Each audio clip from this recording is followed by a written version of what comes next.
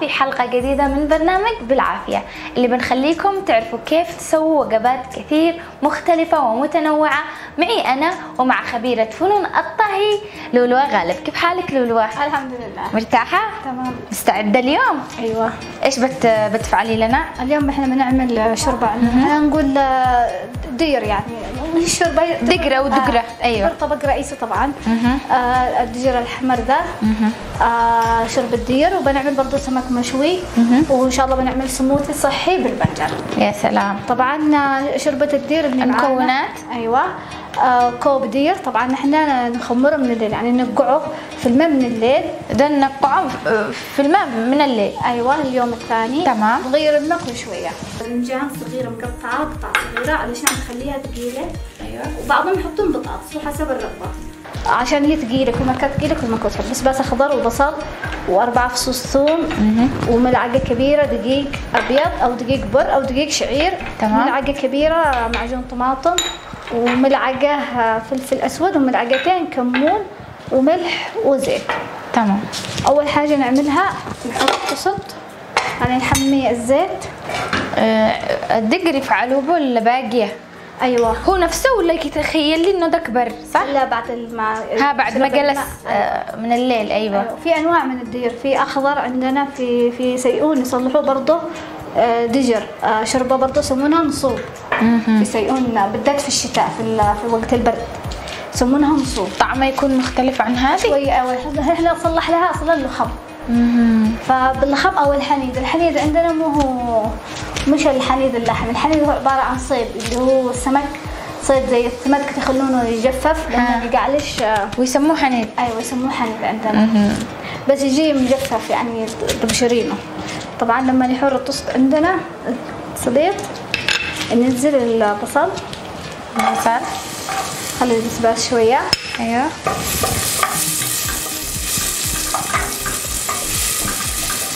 طبعا هي معروفة هذه الشوربة عندنا بالذات في البرد. وفي رمضان نصلحها. فأنا قلت لها الحين ربة البيت تصلح باقية. تصلح نصها باقية ونصها تصلحها شوربة. شوربة دير آه، في الفطور ولا في إيش آه، تقدم؟ هو هي تعتبر وجبة. كأني شكلتي رز. أيوه. يعني وج... مع لحم يعني كانت تعتبر وجبة. ننزل بعدين. يعني أحب أنزلها. ليش؟ أي حاجة فيها حاجة منقعة تنزليها كذا. عشان بسرعة ينيح لنا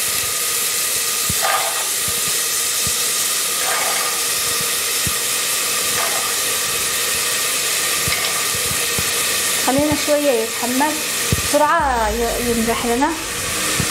ننزل الباذنجان ممكن آه، تضيف خضار أيوة غير كده؟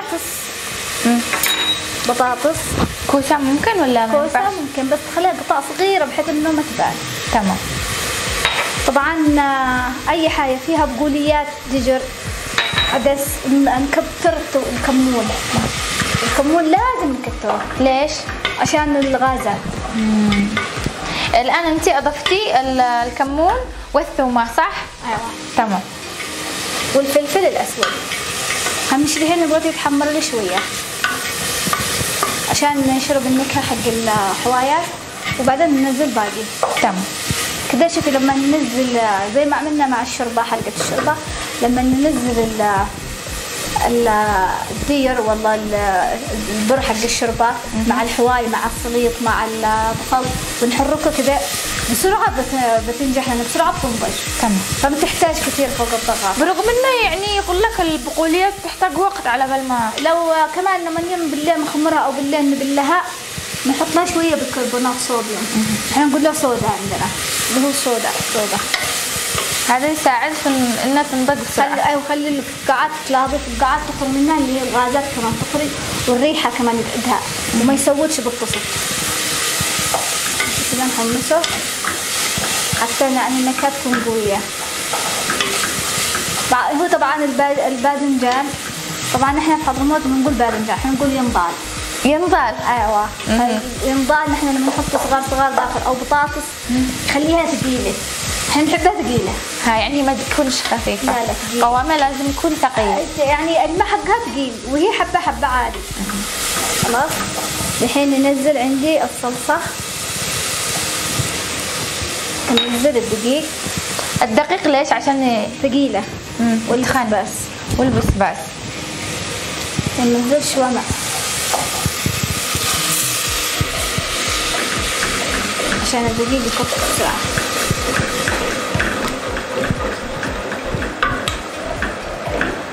اللي يخفف المرق واللي يخفف الشوربة أيوه. الشعير أكثر شيء والدقيق البر والأبيض شوية بس الأبيض أصلا يخلي لها فاتح. طبعا يصلح الدقيق آه، مخلوط. نخلط بر وأبيض. آه بس أحلى شيء الشعير. خليها ثقيلة. شوفي كيف لها ثقيلة الحين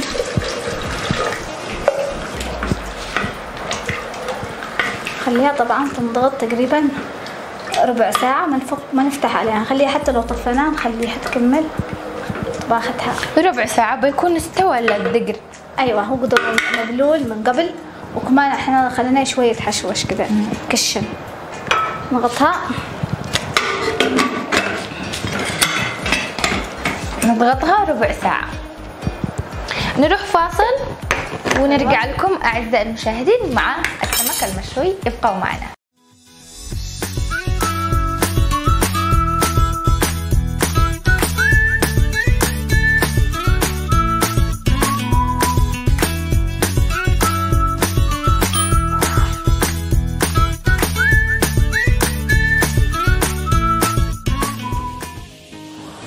ورجعنا لكم أعزائي المشاهدين ومع بالعافية عملنا آه، شوربة دقرة ولكن عادة في مرحلة النضوج. الآن آه، نعمل سمكة مشوية. آه، إيش المقادير لهذه الأكلة يا لولوى؟ طبعا معانا سمكة صرعة؟ نوع اسمه صرعة. صرعة؟ أيوه. هو كذا اسمه. أيوه. وطبعا هذا من من من البحر العربي. من حضرموت. طبعا عندنا بيبيعوه. ومعانا ملعقة كبيرة كمون. ونص ملعقة شبرم اللي هو كزبرة ناشفة أيوة ملعقتين بسباس عدني وملح وزيت للقلي السمكة يعني لازم تكون هذه النوعية ولا ما يقعش؟ عادي أي نوع يعني ممكن بس تكون ممكن يعني. حوت إيش يقولوا؟ يعني صح. مش قطع أيوه عادي كذا؟ والله كذا عادي تمام. بس أحلى شيء كذا تمام أما الث- الثاني القطع حنطبخه يوم من الأيام اللي هو مقرمش زي البروست. آه يفضل يكون آه، بالحواي بس من غير بسباس تمام تمام اللي حنعمله أول شيء عندي الطاسة هذه أنزل فيها شوي ملح. تفعلي خلطة؟ أيوه. وانزل فيها البسباس العدمي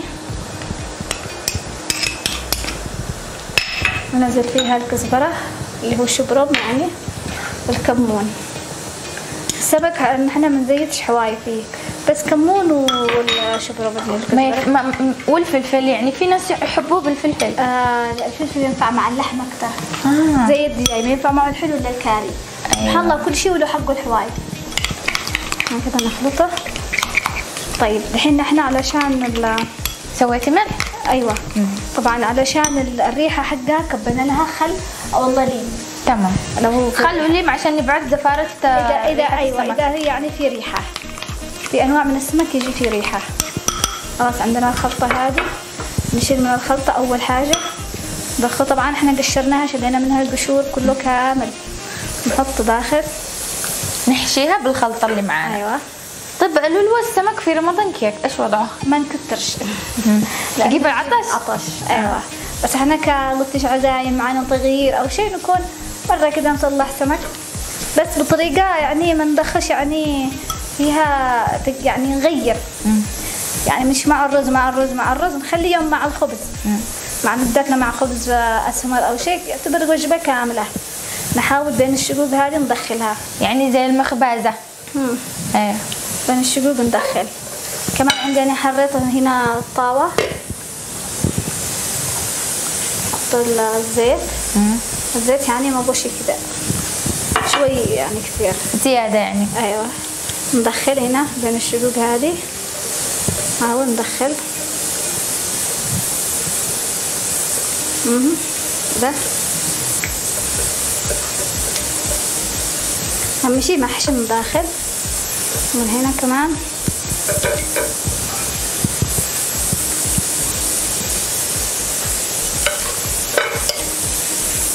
اذا نوعية السمك دي عشان أتعلم حضرمي نوعية السمك هذه إيش اسمها؟ صرعة. ها؟ صرعة. صرعة. صرعة. بال- أنا مش عارفة يقولوا له بعضهم مش عارفة إيش لكن إحنا نقول له صرعة. مش هو البياض. يشبهه. آه.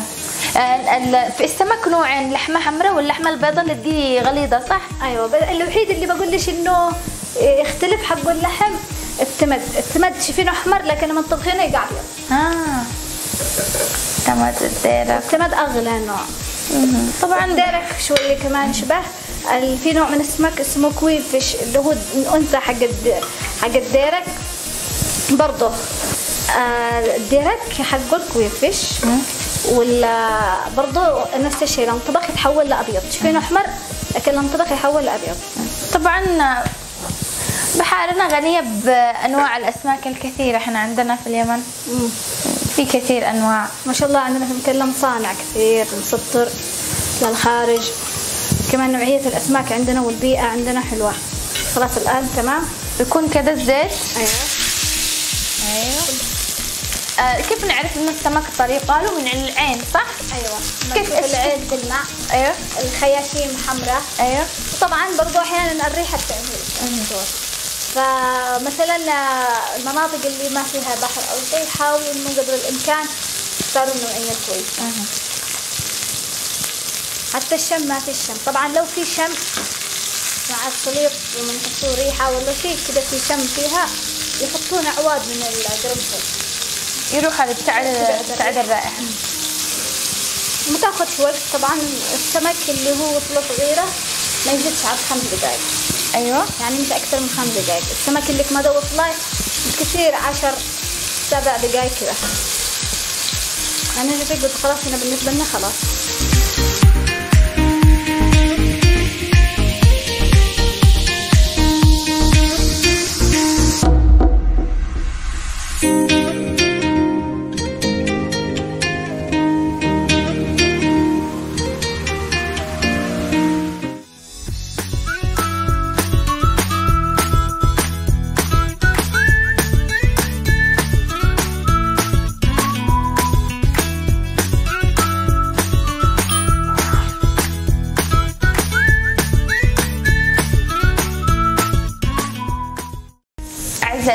حياكم الله في بالعافية. آه الآن تقريبا السمكة أصبحت عندنا جاهزة أو الصيد زي ما يقولوا أهل حضرموت. آه قطعنا لها آه حاجات للتزيين. أيوة قطعنا لها طماطم وبصل وبقدونس وليم تمام. طماطم كذا. بصل بقدونس وليمون أيوة. للتزيين. الطماطم والبصل كأنها معاش سمك ومعاش السلطة جاهزة. نكون أفضل هكذا نخليه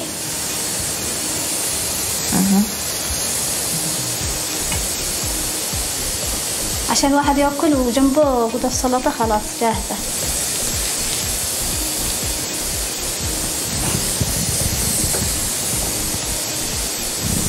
ما فيش شم وريحة الزفارة. أيوة مع التتبيلة حق الخل أو الليم. نكب فيها خل أو ليم.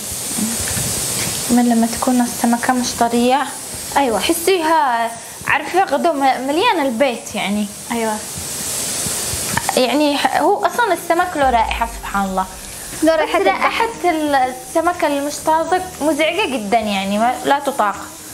بس برضو علشان البيت وعشان الريحة مع القلي وكده تصلح ربة البيت كده الحركة قرنفل تحط آه، أوزعن زي ما تبي الليمون. نحط حط الليمون، اللمسات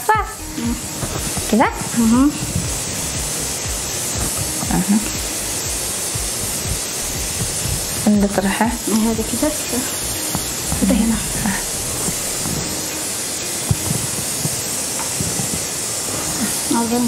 كده.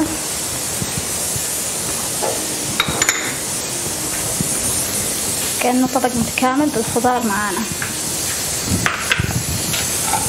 يا سلام كذا نكون آه السمكة جاهزة.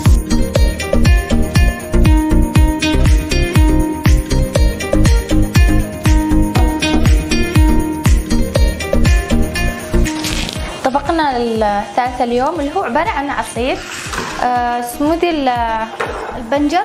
طبعا أيوه. والجزر ده صح؟ والجزر. فورناه فوق الضغاطة شوية كده. أيوه. كم حبات؟ البنجر ثنتين والجزر حبة وسط. تمام. المقادير بشكل عام؟ معانا حبتين بنجر وحبة جزر فورناهم بالضغاطة ولا في الطست عادي. تمام. المهم فورنا لما نقعد خلاص نضم ينطبخوا. ومعانا نص كوب حليب. مم. ومعانا ملعقتين كبيرة سكر ورشة فانيليا. أيوه. ونص علبة آه، زبادي ومعانا برضو هذا عصير اللي يجي مركز كتزيين طبعا البنجر فوائده كثيرة جدا غير الحديد غير ال- الفيتامينات اللي فيه وكمان إنه ينظلم في الطبخات. جدا ينظلم. أيوه فإحنا بندخله كوصفة عصير في رمضان صحي. أيوه مش شرط بس للمخلل أو كسلطه اليوم بنعمله كعصير. هلا يعني يشربوه متى؟ في أي وقت؟ وقت سحور وقت فطور؟ مع الفطور تمام. ننزل البنجر مع حقه الماء. مع ماء السلق. أيوه لأنه فيه فيتامينات. تمام. والزبادي والسموثي أي حاجة سموثي يجي العصير غليظ. والفانيليا الفانيليا بس عشان الريحة حقه. والسكر. والحليب. طبعا الحليب بارد. والبنجر والجزر خليناه في خليناه في في الثلاجه لما نبرد تمام؟ تمام. ونعصره بالعصارة.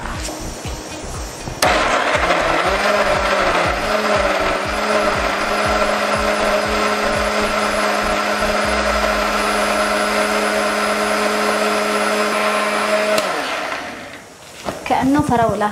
أيوه. طبعا شكله كأنه فراولة. بنشوف كيف بيكون يعني كيف إيش يكون طعمه؟ آه. شبيه بايش طبعا الزبادي بيقضي على طبعا نزين بهذه الطريقة. آه اللي بيشوفه بيقول آه، فراولة.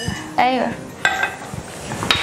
ها- هذا هذا ايشو هذا عبارة عن العصاير المركزة اللي تجي نحطها بس كتزيين. تمام. تمام. طبعا لما ننزلها ننزلها في النص كده.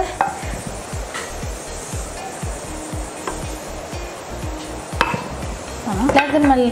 لازم آه العصائر كذا تكون أحيانا غير تقليدية ومش شرط بس العصائر المعتادة. يعني اليوم بنعمل هذا السموزي البنجر يمكن ناس كثير ما يعرفوش. ممكن نزينه بالفستق علشان يكسر اللون الأحمر نحط له اللون الأخضر.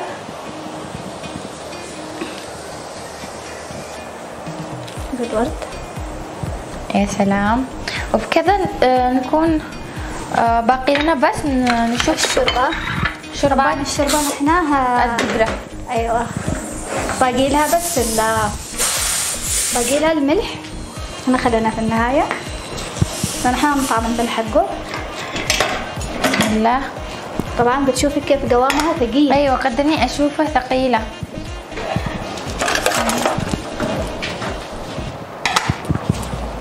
عندنا نحط له الطبق